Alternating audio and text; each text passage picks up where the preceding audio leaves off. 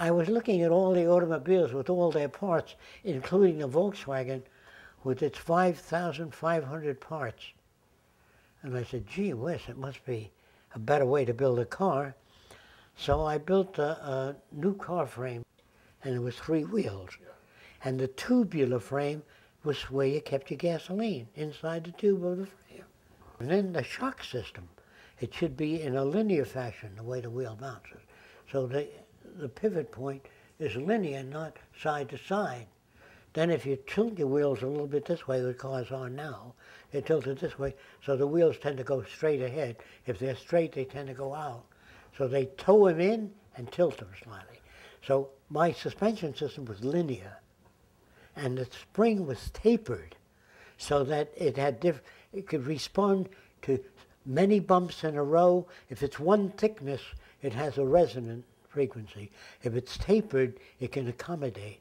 So I did tapered springs on it.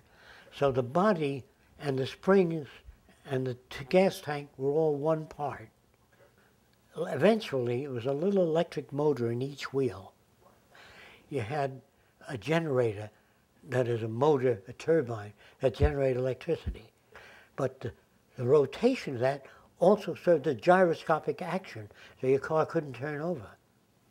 So the one that you built, didn't it The one have? I a- did not have all of that stuff at all. No, the one you built, but it had, it had a motor on motor, the wheel, right? Motor on the in the, in the wheel In the wheel. was what I wanted.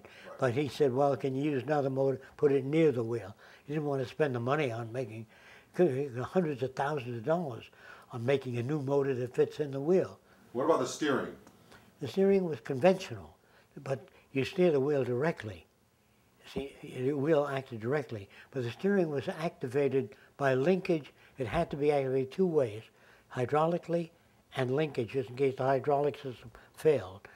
So they didn't call it a car, they called it a motorcycle because I couldn't make one constant windshield because the law demanded that the glass be straight because they figured when you curve your glass, it distorts the image out front. So then I thought of running electric fields through the glass to line up, to line up the glass so that there's no distortion.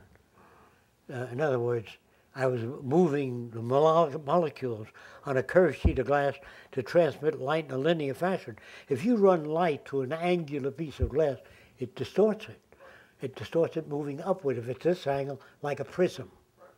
So I thought of that. You know, I couldn't get that kind of appropriation, so I made what they would put up the money for. You understand? What year was that, that you built that car? Jesus Christ, it was Fifties? before the war ended, just a little before World War II ended. So mid forties. around that time. So I built the car. Then the guy said to me, Can you make it crash resistant? I said, If you make a car crash resistant so solid, the people will be killed. It has to give. Otherwise, the people move forward. If you have a car that, that has no resiliency, the people get killed. So what I did was I put the spare tire in front of the car, so it stuck out a little, and if a guy sideswiped you, it rolled. So the spare tire served a purpose, not just was in your back trunk. So there was one spare tire up front, one in the rear. Can you picture that?